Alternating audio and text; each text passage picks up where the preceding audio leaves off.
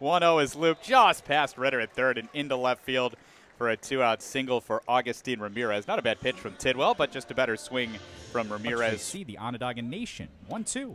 Misses inside, throw to second base. Not in time. A little bit of a high throw from catcher Joe Hudson. It was a nice jump from Ramirez, who has his fourth stolen base in his 20th game played. Um, are on, uh, I, I, guess, how how uh, how does the tryouts work? Uh, just a, an extraordinary, uh, I guess, challenge in lacrosse by the time we're four years old.